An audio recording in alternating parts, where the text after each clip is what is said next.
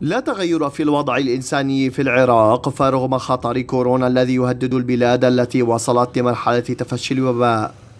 لا يزال القتل والاختطاف والتغييب القسري مؤشرا سلبيا وسيفا مسلطا. يضع حرية التعبير عن الرأي والتظاهر على المحك. والمدنيون والمتظاهرون هم الضحية. خبراء حقوقيون مستقلون يعملون مع الأمم المتحدة. أكدوا في تقرير حديث لهم أن الحكومة في العراق لا تكترث كثيرا بحياة المدافعين عن حقوق الإنسان. الناشطة والطبيبة ريهام يعقوب إحدى المدافعات عن حقوق الإنسان التي طالتهن رصاصات الميليشيات لتنهي حياتها مع زميلة لها. ومنذ آب الماضي وحتى اليوم لا يزال الفاعل طليقا دون ما عقاب. كل ذلك ليسكتوا صوت الحرية.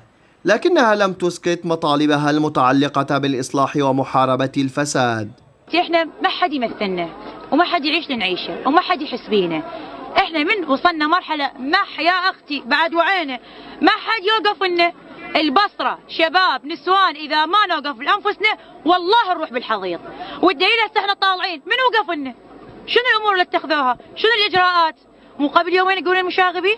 أي قضية أحمد؟ عند الصمت ريهام يعقوب ليست الوحيدة المستهدفة بحسب الخبراء الحقوقيين الذين أشاروا إلى أن استهداف الناشطين تحول فعلا ممنهجا لا سيما ضد النساء في العراق حيث تعرضت ريهام بذات التوقيت مع الناشطة لوديا البرتي في البصرة. للعديد من التهديدات والافتراءات على الإنترنت انتهت بقتل ريهام ونجاة لوديا من محاولة اغتيالها. أمام هذه الانتهاكات يبدو أن الحكومة في العراق لم تقم أيضا بمهمتها الموكلة إليها.